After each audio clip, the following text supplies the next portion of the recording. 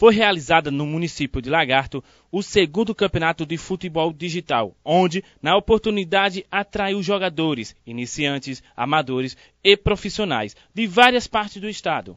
A gratificação é enorme vir de longe, porque é uma coisa que eu faço, é um hobby legal, né? Como não só eu, mas para todos aqui que estão participando.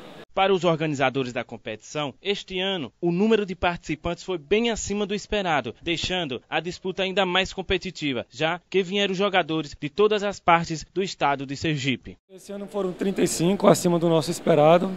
A gente esperava 20 pessoas no máximo.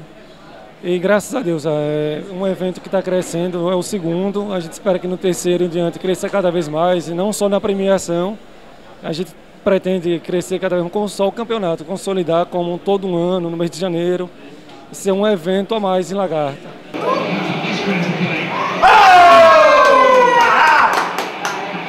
A competição está crescendo a cada ano, a cada edição. Acho que isso é fruto do nosso suor, do nosso trabalho.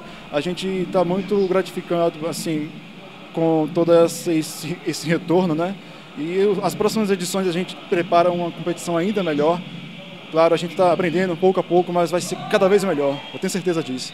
Depois de 163 jogos e mais de 10 horas de competição, o lagartense Marcel consagrou-se campeão do segundo campeonato de futebol digital. Foi complicado, né? Que os participantes são todos jogam muito, mas aí a, a, com a confiança um pouquinho foi dando tudo certo, foi passando de fase em fase até que deu certo, campeão.